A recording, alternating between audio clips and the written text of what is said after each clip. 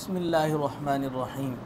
روزہ دار اپنے آپ کو بد زبانی سے محفوظ رکھے، کیونکہ رسول اللہ صلی اللہ علیہ وسلم کا فرمان ہے، اذا کان یوم صوم احدکم فلا يرفس ولا يسخب فإن سابه احد او قاتله فلیقل انی صائم.